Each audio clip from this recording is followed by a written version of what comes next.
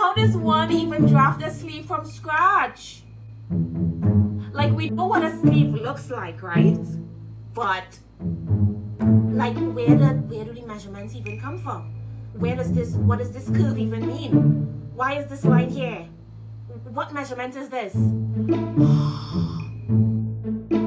If these are some of the questions that you ask when you see a sleeve pattern and you have no idea how to draft a sleeve pattern from scratch, then you're definitely in the right place. Hey guys, it's your girl Designisme. Welcome back to Designisme Daily, where we design our own clothes, we design our own business, and we design our own lives. And as you guys know, a pivotal part about designing your own life is making sure that your mental health is in check and making sure that you are prepared to receive the life that you are trying to manifest. In today's video, we're going to jump into drafting a sleeve pattern from scratch. I know that you guys could see this beautifully tailored um, blazer pattern in the back of me hanging so effortlessly on my dress form and y'all I don't know about you guys, but to master the art of a well-tailored suit is to speak any language under the sun. I believe that a power suit introduces you before you have a chance to introduce yourself. And so I've really been focusing on mastering my craft in terms of tailoring and the art of making suits. So last night I drafted this pattern from scratch and to see how easy it was to draft this, sleeve, especially the sleeve, because there is some very, very key uh, techniques in terms of drafting the sleeve. Um, a regular basic fitted sleeve is different from drafting a bespoke sleeve specific for a blazer or suit. All right, it's not very, very different, but it is a little bit different. And I figured since I was going to transfer this pattern to a toile anyways, just to test out the fit, um, I figured I'll just show you guys how to draft the sleeve and then we're going to cut the fabric and fit everything and see how it looks. So without further ado, let's go ahead and jump right into today's video. The first measurement that you are going to need is your overarm length and your overarm length is basically from the this point of your shoulder you should feel a little bone here or if you have a little bit more meat on your body that's okay but it's just the highest point of your shoulder right here you run the measuring tape from here all along your arm down to your wrist, but making sure that you, uh, your elbow is slightly bent. The next measurement that you are going to need is your underarm length. And your underarm length is one inch below your armpit, running all the way down to your wrist. The next measurement that we are going to take is the measurements for our biceps, and it's basically the fullest part of your arm. Alright, so just go ahead, wrap your measuring tape around the fullest part of your arm, and whatever that measurement is, be sure to add one inch, and that is your final measurement. The next measurement that we're going to take is the circumference of our elbow. You are just wrapping the tape around your elbow, making sure that your elbow is slightly bent, because remember, clothes is about being functional. You have to be able to move comfortably in your clothes. Alright, so go ahead and bend your elbow slightly you're, you're wrapping the tape around your elbow, bend your elbow slightly, and whatever that measurement is, we are going to add a half inch to that measurement to give us our final measurement. Next measurement that we're going to take is the measurement for our wrist, and you're just going to wrap the tape around your wrist comfortably, all right? So you're just creating a very, very loose sort of loop um, around your wrist and it should have enough room for you to move around. It shouldn't be tight at all. Whatever measurement that you got for your wrist measurement, you are going to add a half inch to that measurement just to make sure that it's comfortable enough for you to move and for the wider part of your hand to get through. Remember that you're creating a suit, most of these, most of the materials that we use to create suits do not have a significant amount of stretch, if any at all. So you want your measurements to be, to have a little bit of ease, a little bit of wiggle room because you don't want to be restricted, all right? You want to be able to put on your suit and feel like a bad bee, all right? You want to feel like a boss. You want to feel like the powerful man and woman that you are. So just make sure that your measurements reflect what we want. The next measurement that we are going to take is the circumference of our armhole and whatever that, you're going to just jot that down, whatever that uh, measurement is, we are going to use that measurement in order to get the measurement for our cap, all right? This measurement is usually one third of your armhole circumference. So the measurement for your cap is one third of your armhole circumference. So we obviously need your armhole circumference all right? So just go ahead and measure the circumference of your armhole jot that down and let's go ahead and begin. So you're to need your pattern paper of course some sort of writing apparatus. I'm just using a marker for the sake of this video but you guys definitely use a pencil with a nice accurate fine point. You're to need some tape uh and elsewhere your measuring tape. Of course and a pair of paper scissors let's go ahead and get started So these are the measurements that I would be using for my sleeve and these are my measurements. As you guys could see for the overarm length, I have 24 inches for a really, really long sleeve and that's because um, the 24 inches extends a little way past my wrist, but that's just because I like my sleeves a little bit longer. But the perfect length in terms of the overarm length from uh, the tip of my shoulder to my wrist, the accurate measurement is 22 and 3 quarter inches. Alright, so of course, the same rules are going to apply to your own measurements, but these are the measurements that we are going to use for this video. We're just going to rest our measurements really, really close by because we are going to need them as reference. And the first thing we're going to do is we are going to draw a straight line down our page, making sure to leave room on this side as well as this side. All right, the line that we are drawing first is our green line and it is the center of the sleeve. All right, this measurement is the overarm length. So this line is actually for the overarm length. And as you guys know, our overarm length is 22 and 3 quarter inches. All right, 22 and 3 quarter inches. So we may have to extend this line just a little bit, but that's okay. Are we to extend it up or are we to extend it down? It really does not matter. it doesn't matter. All right. Okay, we can extend it up. We have enough room on the page to extend it up. So 22 and 3 quarter inches.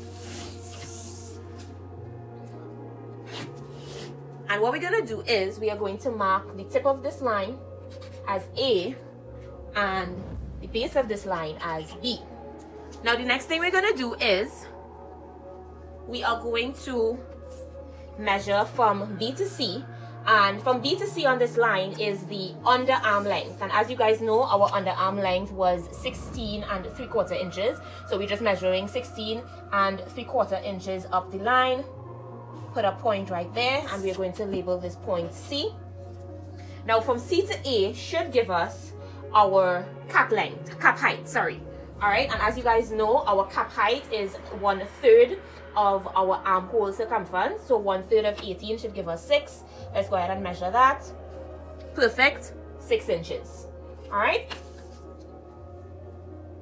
All right, so I have to shift the camera just a little bit so that you guys could see on top of here. The next thing we're gonna do is we're going to square line across C, and this is the reason why it's really important to have a square ruler. I'm going to use this one just because that one, I, I just choose to use this one. All right, so we're going to square a line across, oh wow, not me not knowing how to square a line. All right, so we're going to square a line across that C. I'm just going to square that line across that C. Same thing for this side. Great.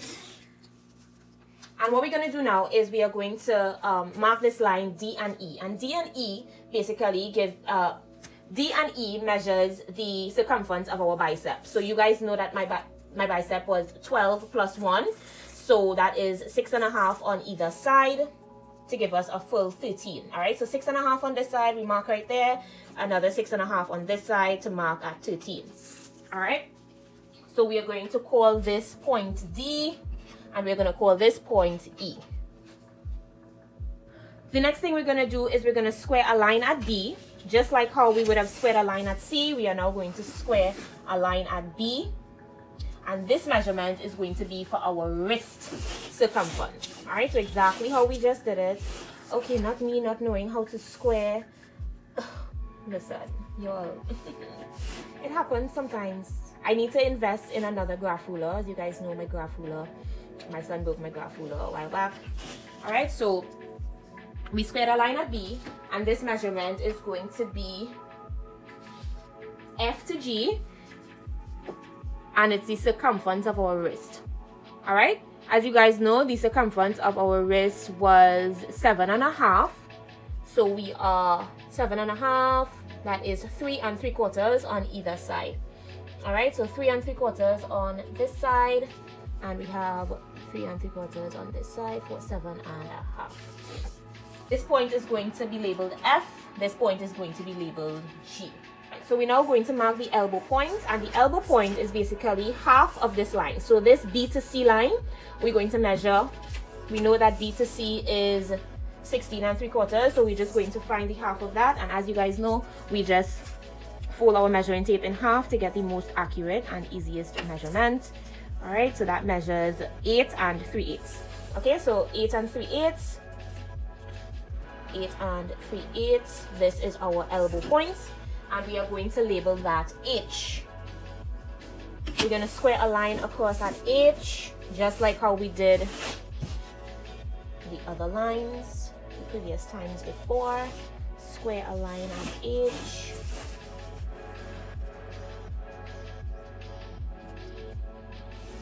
Great. So now we're going to find the elbow position and the elbow position is basically three quarter of an inch higher than the H point. Alright, so the H point, we know that H is here. We're going to measure three quarter inches above H and we're going to label this I. So this line that we would have just squared across for H, we are going to measure our total elbow circumference.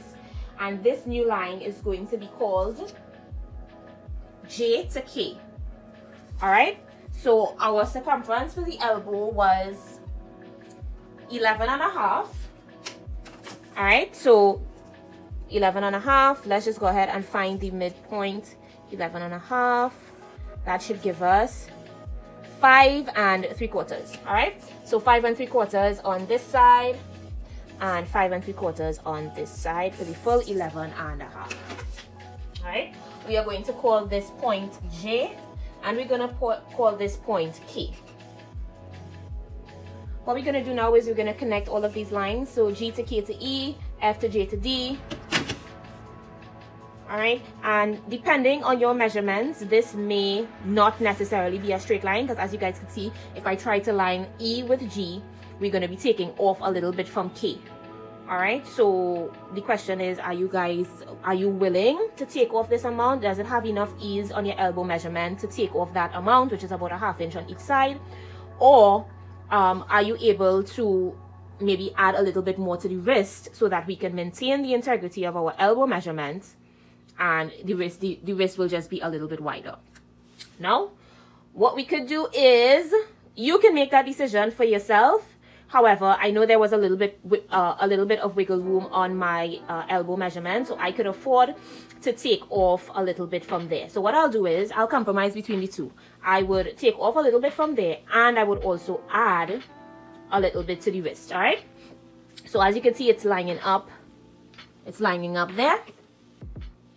I'm taking off about a quarter of an inch from the elbow and I'm adding a quarter of an inch to the wrist. Now, if you want to be really, really specific and detailed, you can just connect G to K and then K to E and keep that as a really, really custom measurement. However, for the sake of keeping this video really simple, I would just uh, make the make the shift. All right. So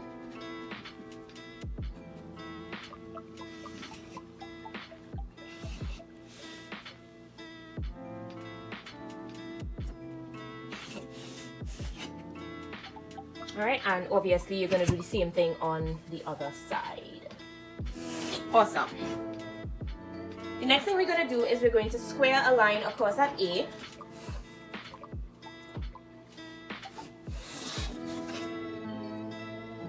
And what we're going to do now is we're going to extend this line all the way into the line we just squared across and we're going to do the same thing to this side extend the line all the way into this line that we just squared off. And you should have a block currently looking like this. We're gonna call this point L and we're gonna call this point M. Let me just adjust the camera a little bit so that you guys can see exactly what I'm doing. All right? So what we're going to do now is we're going to focus on getting the curve and we're basically going to be curving um, we're going to be focusing on these three points all right because as you guys know our curve has to um, perfectly blend into those three points. So the first thing we're going to do is we're going to head over to point E and we are going to measure whatever our measurement is from E to C. Let's measure from E to C. From E to C we have about uh, six and a half we are going to measure a quarter of that. All right so a quarter of six and a half let's go ahead and do it together. Quarter of six and a half.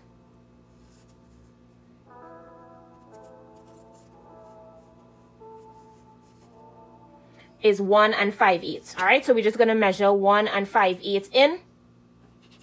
Mark that point and we're going to call that point n.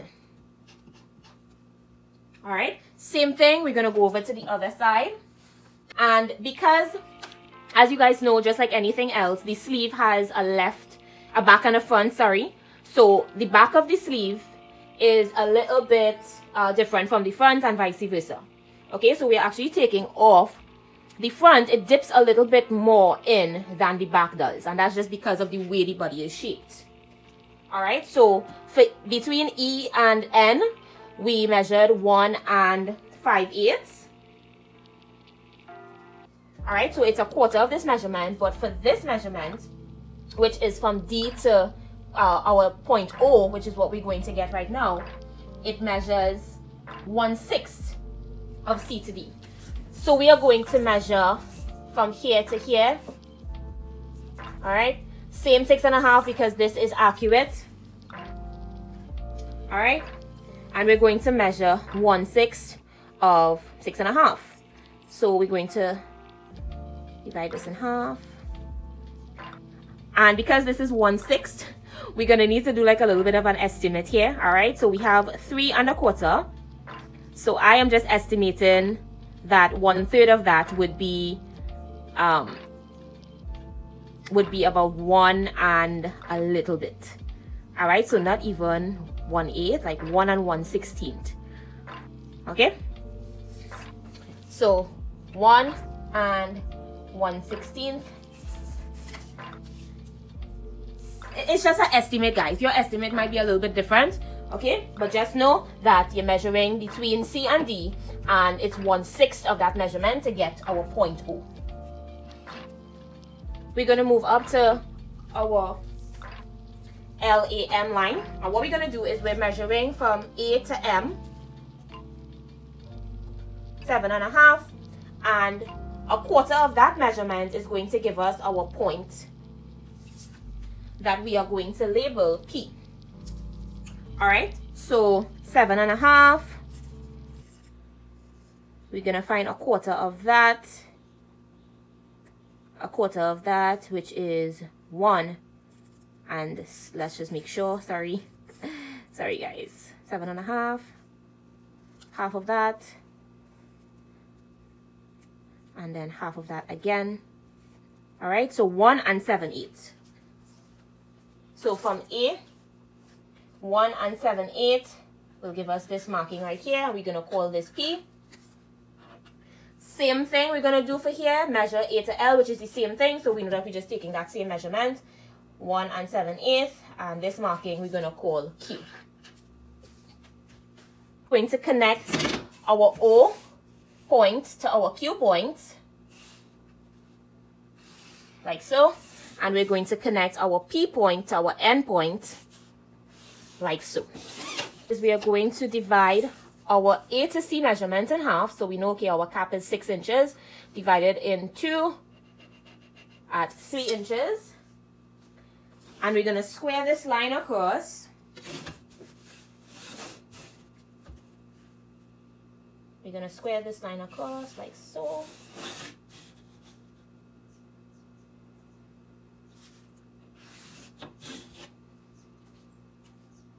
And the last steps are pretty, pretty simple. We are just going to shape the actual uh, curve of the sleeve. And what we're going to need to do is we're going to draw a tiny diagonal line, probably like about a half inch maybe, from N. We're going to do the same thing from O. We're going to do the same thing from P, but instead of going in the direction that we went for, uh, for, for these, we're going to go in for this. Tiny line, guys. Same thing for Q tiny line. What I'm gonna do now is you can freehand this the way I'm freehanding it or you can use your curved rulers if you feel like using your curved rulers.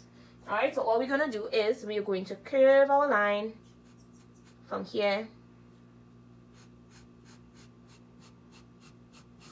blend it in like so and we are going to curve curve the cap like so same thing for here curve the cap, blend it in. Same thing for here, curve the cap, blend it in. All right, and that is basically it for the way we draft a sleeve from scratch. Now this is our basic sleeve. In order to make the slight adjustments to get our uh, custom blazer sleeve, we are going to need to transfer this pattern to some new paper because we are going to implement the slash and spread method in order to incorporate a dart at our elbow line. The reason why we are transferring this to new pattern paper is because we want to maintain our basic sleeve pattern um, but we also need the basic sleeve pattern in order to create our blazer custom pattern. So go ahead and transfer so that you can save one and cut one.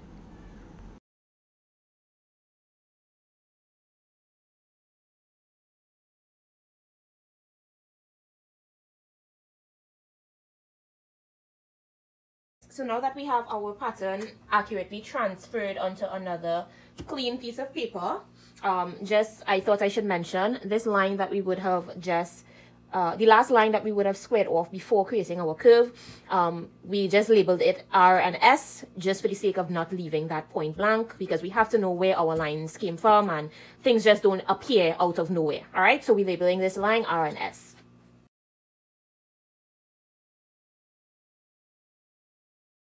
Once we have our pattern cut out, once again, we are going to cut into our elbow line in order to create our dart. So we are cutting into our line from J to K, but we are not cutting through the entire uh, sleeve. We are cutting and we're leaving the pattern connected at K. Alright? So as you guys can see, we cut through the line, but it is still connected at key. This is what we want. We are now going to transfer this pattern, put this pattern piece on a brand new piece of paper, and this is going to be the last transfer because obviously our completed pattern has to be a perfect pattern. Fresh paper, the first thing we're going to want to do is draw our green line on this page all right and this is the line that we are going to use to line up our sleeve pattern as well as to ensure that we pivot. Go ahead and grab the sleeve pattern. Line it up using your green line. I have some tape on mine. Line it up using your green line secure the top half of the sleeve first.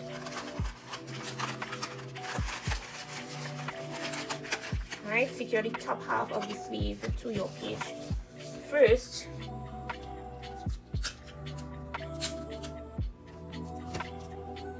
And what we're going to do now is we are going to pivot. And pivot simply means this. Alright, we are going to pivot the bottom half or J one inch. Alright, so J, J should now measure one inch away from this part right here. Okay, so pivot. Sorry guys. Pivot just like that. And it should measure one inch, okay? So one inch apart and secure your bottom half of your sleeve. Like so.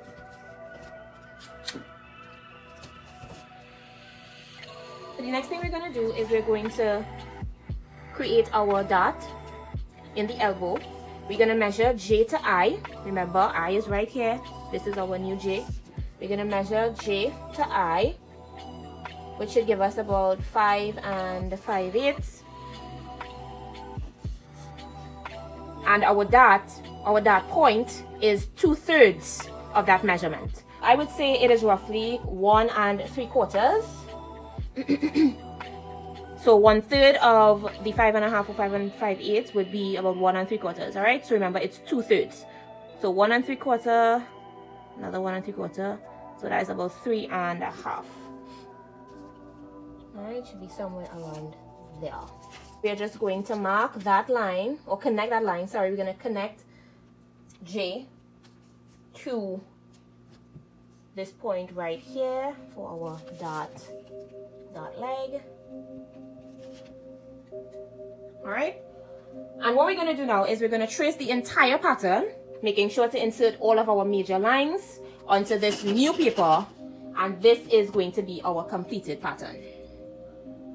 Once we have our pattern accurately transferred to our brand new page, we can now add our allowance and label accordingly. All right, so we have our arrows for our green line. And the first thing we're gonna do is we're gonna write the word green line going down the entire line. Let's go ahead and insert our notches so that we don't forget to insert our notches. So we know that this is the front of our pattern and this is where our um, whole notch goes to represent the front. To represent the back, we put two notches to represent the back, all right? And it's usually just a quarter inch apart from each other on that same line. What we're gonna do is we are going to through our elbow dart as well as add a half inch allowance to our entire pattern.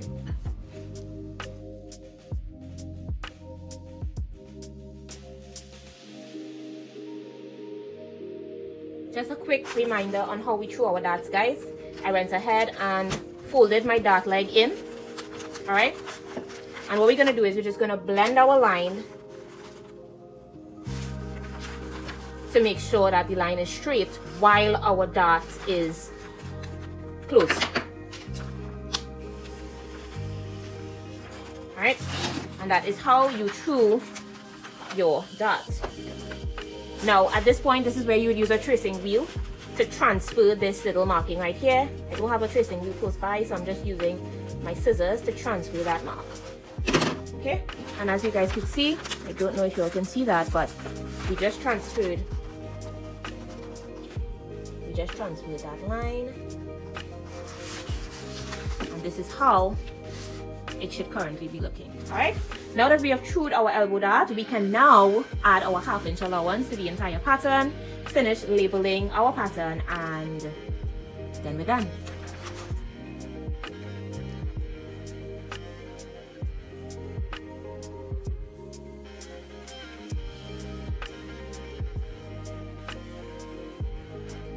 Alright, there you have it guys. This is our completed pattern go ahead and label your pattern with the design number as well as the name of the pattern. This is just our basic jacket or blazer sleeve. The size this is a us size 6 or size small and you are cutting 2 now we only added a half inch allowance to our wrist because all of our sleeves intend to be uh, fully lined.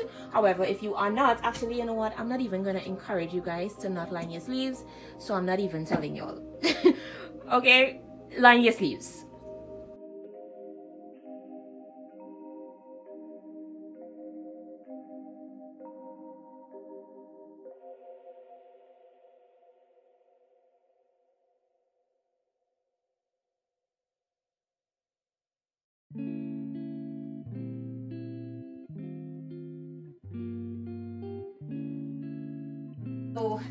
it. That is it for the end of this video.